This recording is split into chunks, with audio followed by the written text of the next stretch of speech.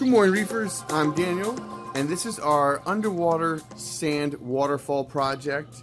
Um, what you are looking at right now is an uncompleted process, but I just wanted to show you an update. So those of you who follow the channel and who are regular watchers, I figure you'd probably want to see this before it's completed. So here you go. I did take some PVC and it helped my molding and sculpting and kind of save material cost we did use the green foam for sculpting and I used the PVC pipes, heated it with the heat gun. So I cut it in half with the bandsaw and then that way I could glue the one end in still and mold it so hold it in place. So there is that. Let me explain this a little bit more because you're probably looking at this going, what the heck is this mess? But this is what's going to happen. Okay, this is going to get flipped over when it's done, and this will be inside the tank. I'm just using the bulkhead, you know, in the drain for measurement purposes, okay? So I put them in place just so I can mold them.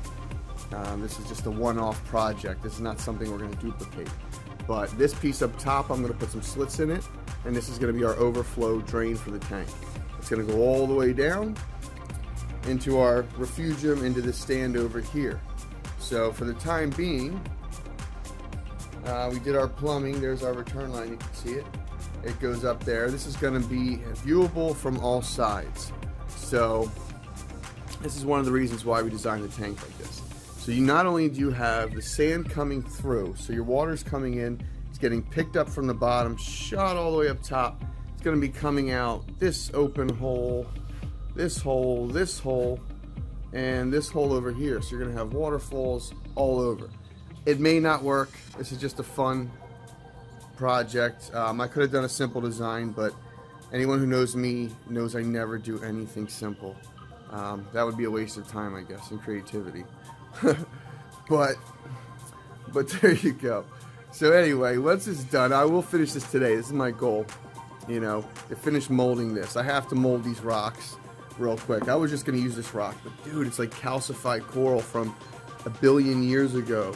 It weighs like 20 pounds and will break any drill bit. This stuff's unbelievable. If anyone's ever picked up a piece of this like fossilized coral, you'll know what I mean. You, you can't cut it. Even a diamond saw, it has trouble and will break your blades. So, so that's that. Um, that's my quick update.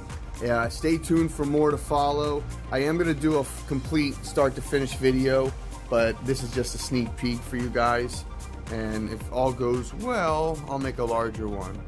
But I have like 50 nozzles coming out of here so we'll see. The sand may not run down my little channels.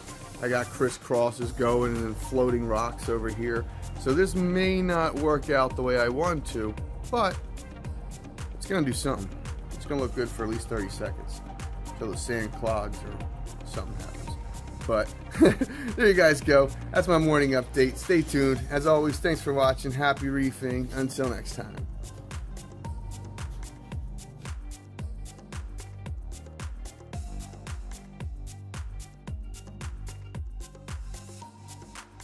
If you liked the video, give it a thumbs up and share with a friend. And thank you for being part of the Coralust community.